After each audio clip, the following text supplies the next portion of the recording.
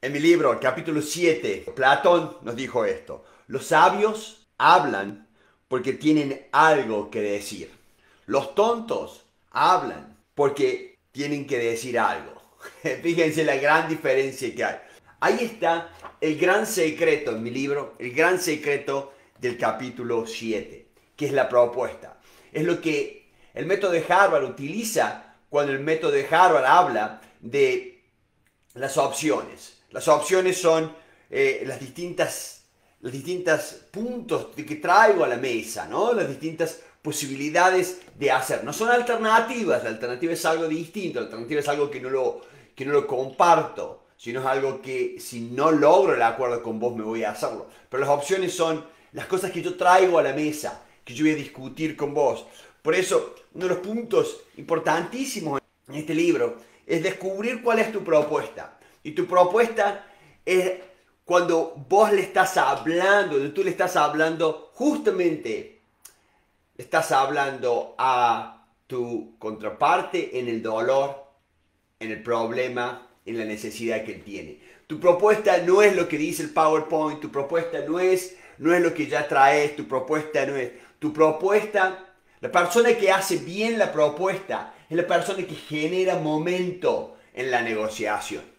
¿Cuántas veces estamos en una negociación y nos quedamos, y nos quedamos estoqueados, nos quedamos, nos, quedamos parados, no, no avanzamos? ¿Por qué? Porque no generamos momento. En toda negociación, el buen negociador sabe cómo generar momento. ¿Cuántas veces les ha pasado que estás negociando, estás tratando de lograr un acuerdo, estás en esto y te quedas parado y se quedan los dos y, y hay falta de confianza? ¿Por qué? Porque no tenemos ese momento de dar propuestas, de dar distintas opciones a seguir avanzando en esto, a seguir avanzando, para descubrir más lo que quiere el otro, ¿cierto? Y que el otro te ayude a, que, a, ver lo que él te puede ofrecer para que a vos te satisfaga el acuerdo. Tenemos que darnos cuenta que uno de los puntos claros, ayer veíamos en otro video, puedes ver la necesidad y el problema cómo tenemos que trabajar en eso, cómo tenemos que investigar para tener una buena necesidad y un buen problema. Pero cuando no tenemos una buena propuesta, y hay una historia que yo cuento, esta historia fue en Argentina, fue uno de mis primeros jefes, ¿no es cierto? El, el CEO de la Renault Argentina, en 1994. El CEO de la Renault Argentina, él estaba presentando el gobierno quería sacarles más tax, más impuestos, más impuestos, más impuestos. Entonces, eh, eh, Francia ya quería retirarse de, Argentina. era, era, era, imposible para Renault Francia seguir pagando todo esto. Entonces que dijeron, bueno, bárbaro, si quieren más, nos vamos. Él convenció a todo el gobierno de Córdoba, convenció cómo ese era el camino equivocado.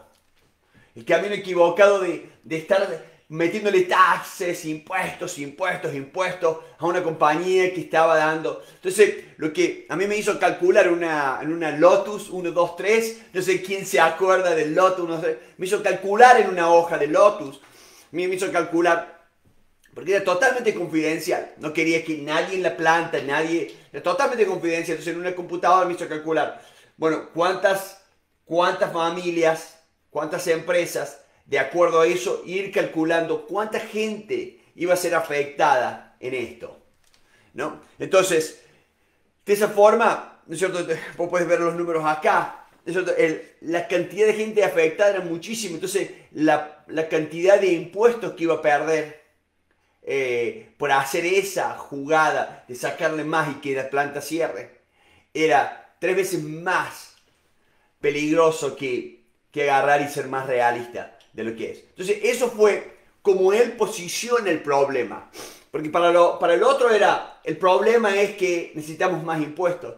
Y para él dice, bueno, estoy de acuerdo, puedes necesitar más dinero, de los impuestos, pero el problema no es que yo cierre la empresa porque me estás obligando a cerrarla.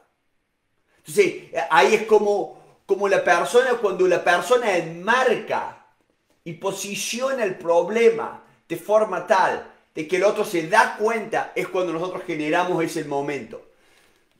Y generamos el momento, como decimos acá, buscamos ese momento, buscamos eso, es no estar estancado, porque muchas veces nos, estancamos, no, no, no sabemos cómo avanzar. ¿Y sabes por qué te pasa eso? En toda negociación.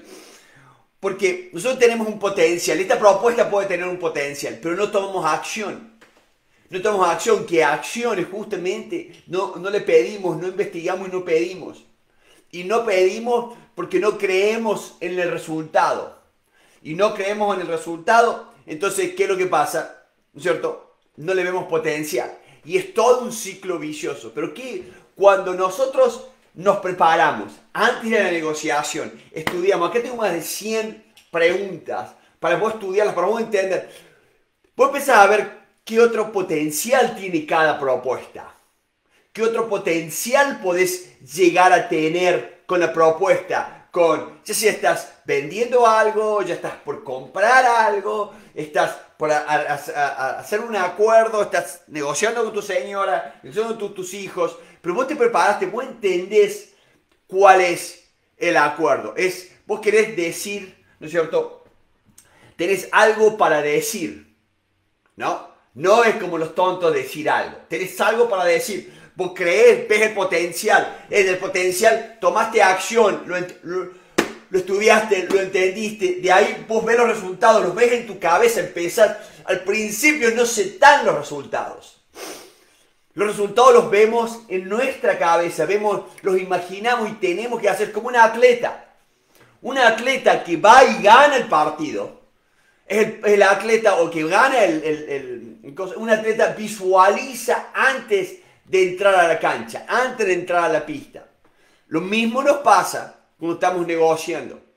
Cuando uno negocia y uno está preparándose, uno visualiza lo que está pasando, lo que va a pasar, cómo va a pasar, qué voy a hacer. Si yo visualizo, si yo trabajo en esa visualización, es cuando, ¿no es cierto?, el potencial me lleva a la acción. La acción me hace tener resultados. Esos resultados, ¿qué me hace cuando yo empiezo a tener resultados? Cuando te digo algo y, y ves y empezamos a entenderlo, entonces lo volvés. Entonces, si eso funciona, ¿qué pasa?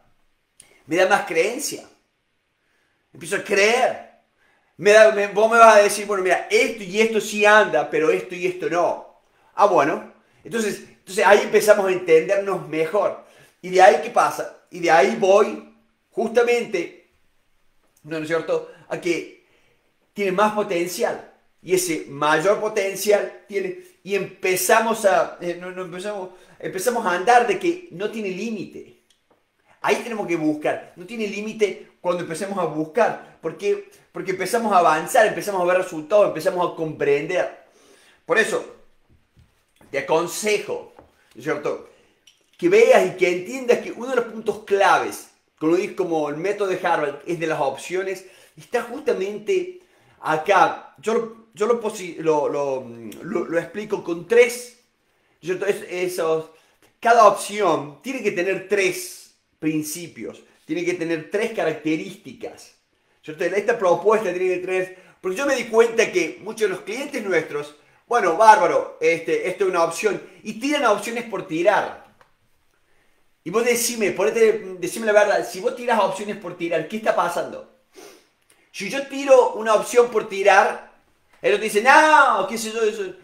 Y vos qué decís, y bueno, yo traté, Pablo, pero ese tratar realmente es lo que justifica ser un buen negociador, ser un buen líder. No, para nada. Es un tratar y mucha gente, ah, bueno, yo traté, traté. O sea, yo puedo, yo te puedo decir, bueno, mira, yo soy, yo traté, yo traté este, yo visité 100 casas para tratar de venderle este libro, ¿no es cierto? Y todos me dijeron que no. Y voy, ¿no es cierto? Ah, bueno, a ver, ¿y cómo hiciste? Y fui, golpeé, che, vos no querés este libro, ¿no? Nah, si vos no negociás, si a vos no te interesa, nah, si a vos no te interesa. Y le dije a las 100 casas así, o sea, alguno me compró porque me, le di lástima. Pero fue lo, único, fue lo único que hice, fue tratar. Hay que tener cuidado con eso. El solo tratar no te da ese resultado, no te da ese potencial, no te da. Entonces, cada la característica que tenés que tener en cada propuesta, no dice la página 113. Primero es el marco. Tenés que buscar el marco. El marco se refiere a cómo introducir el problema y bajo qué perspectiva. Entonces, cuando vos introducís un problema con tu propuestas es el marco.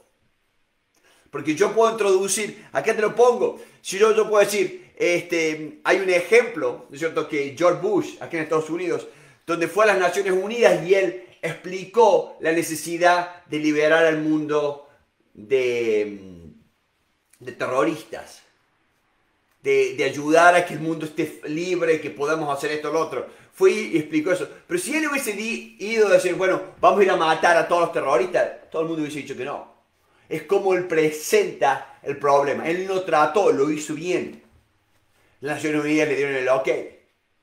Entonces tenemos que buscar y tenemos que entender que el secreto en nuestra propuesta está en cómo nosotros enmarcamos, ¿no el, el problema, cómo nosotros utilizamos estratégicamente la empatía. ¿Y por qué? Porque la empatía estratégica te permite ver la perspectiva de la otra parte y comprenderla. ¿Para qué? Para anticipar sus movimientos. Si yo, si yo, si valgo con la propuesta y esa propuesta tiene, yo la estudié empáticamente, yo la analicé, esa propuesta va a tener mucho, muchísima fuerza. No hay ninguna propuesta que nosotros pongamos que no tenga fuerza, que no camine. ¿Por qué? Porque la estudiamos bien antes. No fue una casualidad, no fue el yo traté. Ustedes lo saben perfectamente. Esa persona va a 100 casas y, a todos le dice, sí, bueno, no, no, no querés esto, ¿no? Dice, nada, nada. O sea, eso, eso no es. Eso no tiene fuerza. Eso no genera algo que, que la persona se va a llevar. Por eso, es el segundo punto. El segundo punto es la empatía estratégica que tenemos que usar.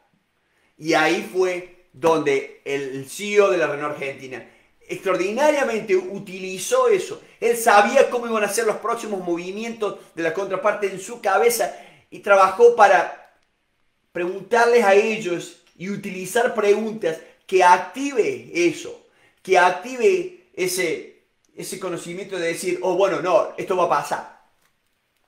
Esto va, uy, si nosotros hacemos esto, si nosotros les cobramos demasiado impuestos y nosotros hacemos que la planta cierre, perdemos todos los impuestos, ¿no es cierto?, de, los salarios y perdemos, y toda esta gente va a estar eh, eh, desempleada. Entonces tenemos un problema mucho mayor del que estábamos buscando. Ahora tenemos que ayudar a todos estos desempleados. ¿No? Eh, o sea que generas eso. Segundo punto, estratégicamente tenés que ver qué movimientos porque vos imagínate si yo te hago ver que el movimiento que estás haciendo te va a generar que vas a tener dos problemas. Vas a tener el problema de que no estás, no puedes recordar porque yo cerré, pues yo me fui del país. Y vas a tener el segundo problema de que toda esta gente va a estar desempleada. Estamos hablando de millones. Porque cada uno afecta. Entonces ahí está estratégicamente la empatía, cómo lo utilizamos para justamente avanzar. La propuesta tiene que tener estas tres características. Y la tercera característica es, ¿no es cierto?, cómo trabajas con la autoridad que vas a, tirar. ¿Cómo está la autoridad que pones en la... ¿No es cierto? La autoridad dice, se trata de lo que la experiencia te otorga por haber solucionado situaciones similares. Además, de los conocimientos sólidos acerca de la negociación. Entonces, vos empezás a trabajar con eso y obviamente que va a tener un impacto mayor. Porque no solo te estoy mostrando que tiene un marco, no solo te estoy mostrando cuáles van a ser tus movimientos, pero te estoy ayudando a que vos veas. ¿No? Te estoy ayudando a que vos veas que tengo autoridad en el tema. Lo trabajé al tema. La autoridad se gana a través de la preparación. La, autoridad se gana a través de analizar y estudiar cómo la persona va a trabajar.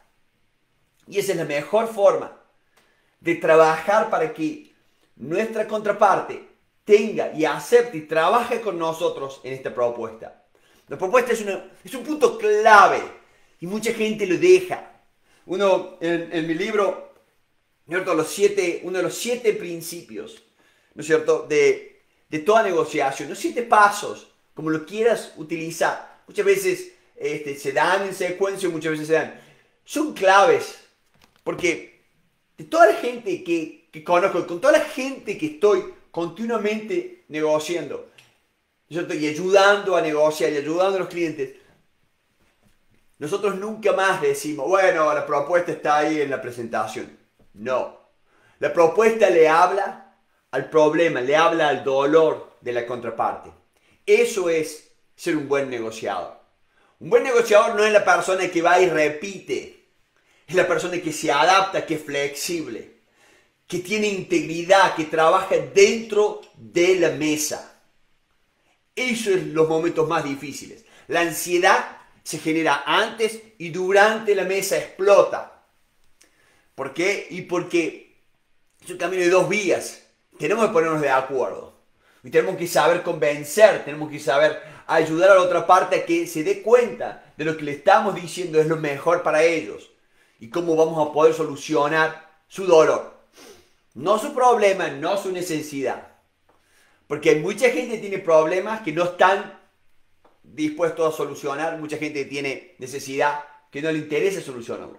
Está en nosotros en descubrir cuál es el dolor. Totalmente, Ruri. Ruri nos dice predisposición positiva y confiar en el valor de nuestro producto y servicio. Claro, cuando nosotros confiamos, cuando nosotros vemos, ¿no es cierto? Y uno, eso, eso me da el potencial, ¿no? Y eso me da, me llama la acción, y eso me da una acción como dice Ruri, me da la acción y me va a dar resultados y empiezo a estudiar los resultados porque yo sé que otra gente le ha, le ha dado resultados. Entonces creo y esa creencia mejora el potencial y es todo un ciclo, potencial, la acción, resultado y la creencia. Pero siempre partir de que tu propuesta tiene que tener tres características. Tres características fundamentales. Uno, el marco, porque toda en toda negociación, en toda discusión, hay un choque de marcos, hay un choque de ideas. Siempre sucede eso. Y va a seguir sucediendo. Porque cuando vos te enfrentás contra alguien, cuando vos tenés que discutir, tenés que negociar, hay un choque de ideas. Que está bien, que es normal. Que. El conflicto ayuda a que salga algo mejor de lo que era antes. No a que uno eh, eh, dicte lo que va a pasar. El conflicto genera esa gran posibilidad. El conflicto es la mejor forma de, solucionar, un, solucionar algo y empezar a trabajar desde ahí. ¿No es cierto? El primero, el marco. El segundo, la empatía estratégica que tenemos que tener para analizar y poder saber cuáles son los movimientos del otro. El tercer punto es la autoridad. La autoridad que me hace demostrar al otro que ya estuve acá, Quizás sé que lo estudié, que trabajé, pero si yo no me preparo, si yo no busco, si yo no... Eh, les aconsejo, bajen la hoja de preparación que nosotros damos, ¿cierto? Y sigan esa hoja. Pero bueno, la propuesta, no se olviden, la propuesta son las opciones, lo que el método de Harvard habla de opciones, ¿no es cierto? Pero, pero es cómo presentamos las opciones, cómo trabajamos. Pues yo puedo tener una buena opción, pero no te la sé decir, no voy a ganarte. Pero si yo sí te la sé decir, si yo sí sé trabajar con vos en lo que realmente te está haciendo falta. Si sí descubrí cuál es la necesidad, descubrí cuál es el problema, pero más importante, sé, ¿no es cierto?, qué te duele. Sé las debilidades que tenés, sé eso, y yo sé cómo yo puedo ayudar en eso, cómo puedo realmente trabajar. Porque vos imagínate, en, el ejemplo yo les contaba, el CEO de, de la Argentina dijo, mira, eh, la mejor forma de que vos ganes más es que, que nos hagas vender más, que trabajemos más, que generemos, que, que exportemos autos, que hagamos esto, que hagamos otro. Esa es la mejor forma, no de asfixiarnos y hacernos cerrar. Porque Renault Francia quería cerrar. Entonces, ahí está el secreto. El secreto no está en, no le tires este, la opción, no, no, no, Pensá en eso, trabajá en eso. Cuando vas a pedir un aumento de salario o, hablar con tu socio para que te dé algo, no solo pienses lo que querés y lo repetís. Estudia qué preguntas vas a hacer durante el desarrollo. Estudia esas preguntas Y esas preguntas te van a llevar. Y ahí es donde vas a poder conectar con la persona. Eso es lo que tenemos que hacer. Lo repito una y otra vez. En mi libro lo pueden buscar en Amazon. Una y otra vez. La necesidad que, que hay de realmente conectar, de realmente buscar. Porque eso es lo que los mejores negociadores hacen. La mejor negociación sucede cuando logramos eso. Bueno, todos los días a las seis y media de la mañana les aviso, pues estoy tan cansado de ver tan malas noticias y, que todas y de todas las mañanas haya malas noticias. Y bueno, por lo menos voy a, hacer algo, ¿no es cierto? Eh, tomar acción de agarrar y, y, juntarnos acá y hablar cuál es, cuál es un punto importante para mejorar nosotros como comunicadores, como negociadores.